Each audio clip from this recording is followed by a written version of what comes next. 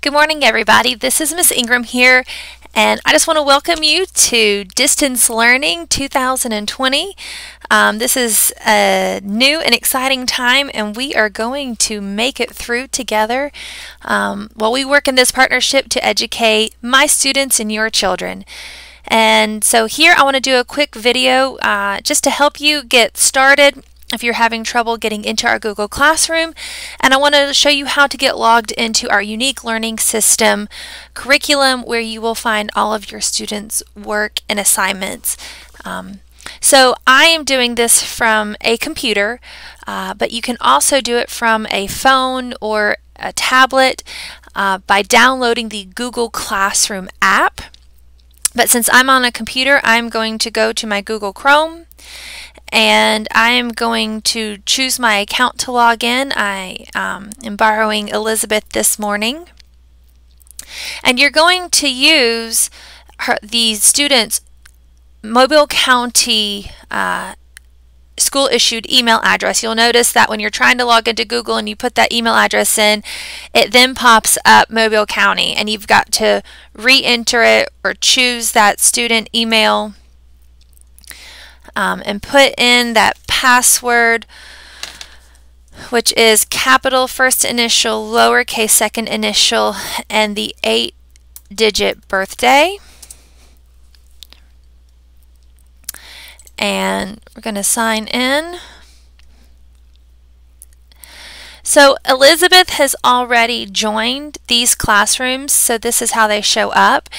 You if you're needing to join another classroom, um, say if she's wanting to add PE or music therapy, um, you just click the plus button and you can put in any class code that you've received.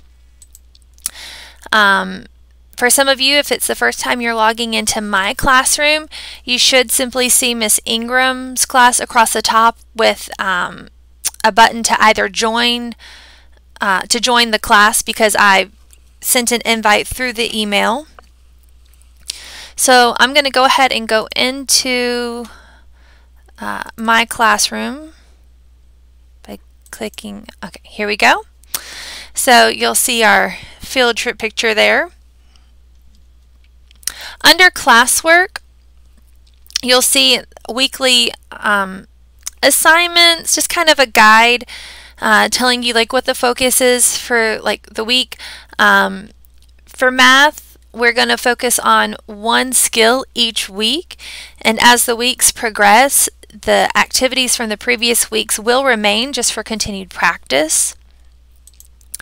And reading, I, I just listed the different lessons for each day, which you'll see they're pretty repetitive right now.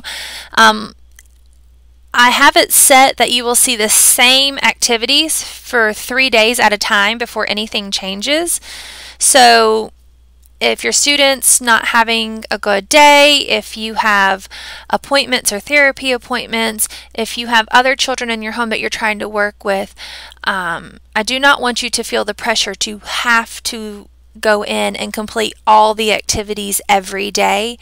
Um, I do. We are kind of taking attendance through record of y'all logging into Google Classroom and logging into at least one activity on Unique.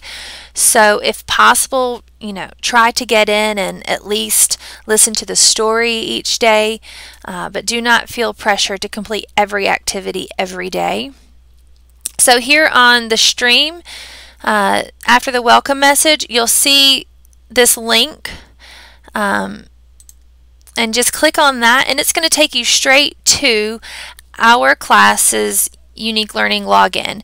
And so you should find your student here click on their name and then enter their password.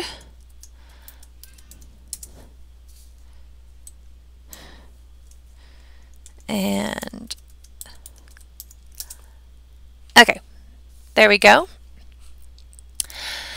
so right now I don't have anything under positivity, so don't worry about that. L3 skills, uh, this is not required, but if your student has some extra time, you want to give them something to do, um, I have assigned a few fun games in there for students to play, but that is completely optional. Our main focus is going to be this orange snowflake here, and that's our curriculum. So when you click on that, it's going to take you right here to your child's activities. And these are the lessons that are assigned for today. So we have four reading activities and one math lesson that's assigned. So um, I'm going to take you in just kind of show you what these first activities look like. So here we've got our phonics. Um, everything that you click on, it will read it to you. So if I click on this O, it will read it to you. This arrow button is how you can move the page up, you can move it down, over, you can zoom in, uh, you can zoom out. This will show you the whole page at one time. This will kind of zoom it in for you if you're wanting um, maybe to limit the number of choices or items that your child sees at one time. Uh, again, if you're doing this on a phone or an iPad, then it'll be completely touch interactive like our smart board at school, which is great for most everybody. If you are on a laptop, you will need to use the mouse or touchpad. You can go page to page by clicking the arrow button. The go button will also let you skip to other uh, pages or activities within this lesson. So right now we're under the letter cards, but then you can also choose picture word cards or just picture cards without the words. So I can jump over here and we can Ocean. Opal. look at some of our vocabulary words. Uh, it's good to get familiar with these because in an upcoming lesson, students will have to choose the picture cards that match a letter card. Uh, so they'll have an O card and they'll need to select which picture um, match that. This globe over here is a very important button. This is how you're going to go back to the home screen to go back in another activity. And you can click this print button if you want a paper copy of any of the pages for your student to do. Um, and that's really all y'all probably need to worry about right now. So I'm going to go back home. And I'm going to go into the high frequency words. So if I go to this go button, I'm going to see there's list 1, list 2, and list 3. So pay attention to the um, lesson assignments to see what list we're working on. Uh, but I can go ahead and tell you that for the first two weeks, we're just going to be focusing on list 1, which is six sight words. So when you're going through this with your student, click on it, let them hear the word, let them try to repeat the word, uh, spell the word together, have them identify what letter that starts with. So if school, if we were putting it up on our word wall, you know, I'd say, well, what letter does it start with? Start with M. Okay, let's find M on our word wall, and we would go and tape that word um, underneath M. And so you can scroll through. If you're just going from page to page, know that it will take you past six words.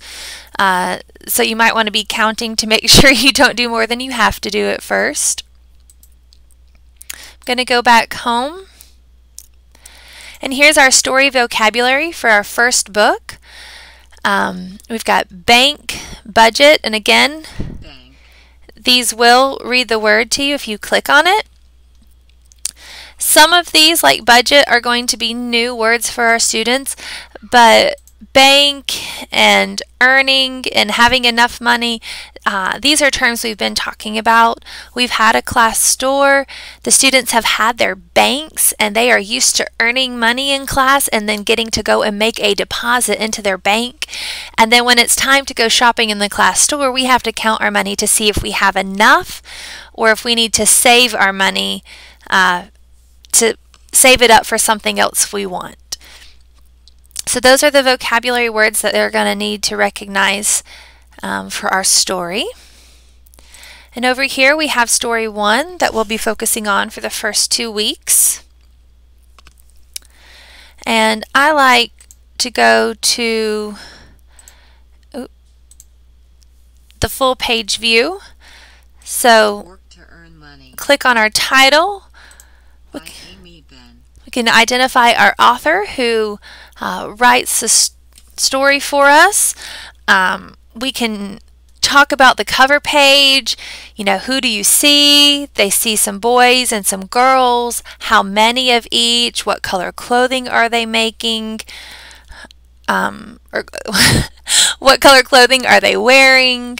Um, see if they can go ahead and identify uh, the money up there in the pictures. And then click Kale it. wants to buy a new basketball. It costs money. Kale needs to earn money.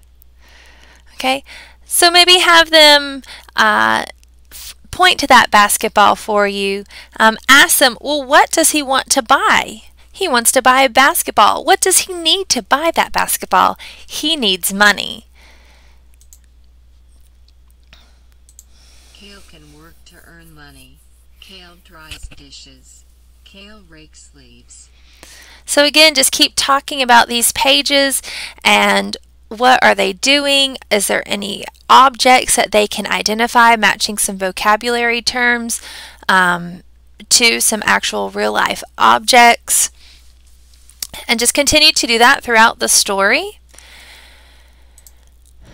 And everything that you do, every time something is clicked um, on one of these activities for it to be read um, or a picture is clicked, uh, it is recording all of that information for me. Um, I'm able to pull a report that says what activities did the student work on, what day, what time, did they complete all the questions? Did they just, you know, did you just look at four of the book story pages? Um, did they answer all five of the questions? How many did they get right? Um, and then each day it will reset. And so I can see how often, how much y'all are doing, and how they're improving. And I do expect that in the first couple days when y'all are practicing, that um, it's probably going to show me, you know, 100% accuracy because you're teaching and you're modeling for them. And then as we get towards the end of working through these activities and I say, hey guys, this is an assessment day, then I would like to see what they do. but in the beginning, I definitely want you teaching them and showing them the correct responses. Here's our math activity. So again, everything on here, it will read it for you. Emily has two trash bags. Count two trash bags. One, two. Uh, I've already been in here once and answered this question, but I can drag a response off and reset it. So when we click on this, um, for this student, she is matching that number. If we drag, you don't have to, uh, if we click that wrong number, oops, we got it wrong. And you can simply drag it away, parents, and give them another chance to find that correct answer. Uh, we are, we have been working on more and less, so please go over this with your student, um, asking them which one has more, which one has less. There are several pages that y'all can work through. Keep working. um, throughout more to do. Keep. I am done.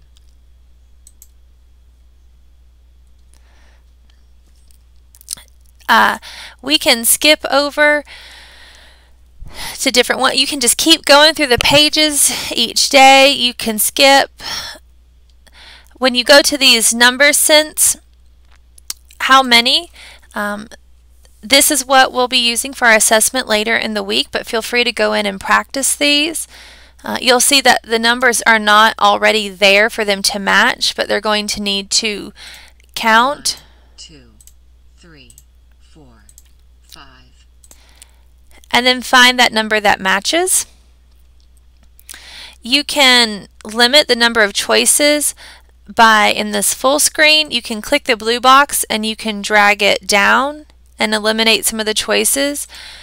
You can also come over here and go to the wider page view Well, that reset for me. Let's just zoom in.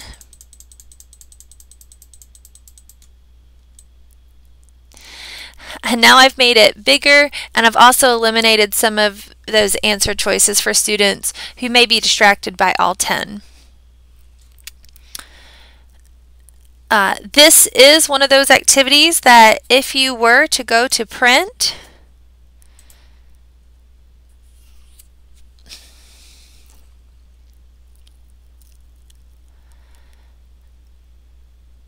uh, you could print it and they could they could write on it. Um, you could print it and they could touch it.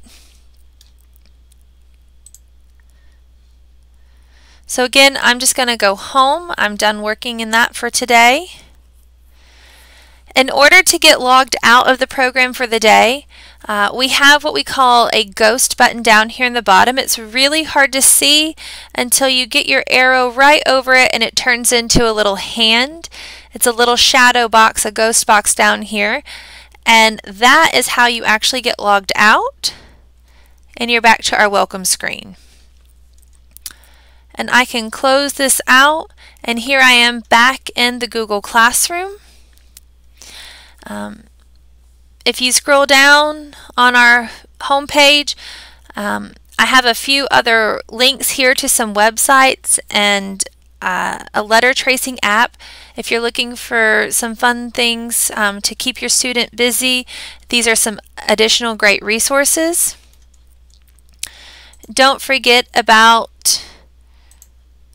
all your other classes, uh, your speech class, your adaptive PE, your music therapy. Um, I sent out links to our Ms. Walker, the librarian, Ms. Brenton PE. They've all created Google Classrooms and are uploading activities each week. Um, those activities are not graded. Um, they are optional, but we hope you will take advantage of those resources. The only grades this quarter will be math and reading, so that will be our unique learning program. Those will be the grades. If you have any questions or need help getting logged in or aren't sure what to do in one of the lessons, uh, feel free to reach out to me. I am here for you guys and uh, happy learning and I hope you guys have a great week. Bye.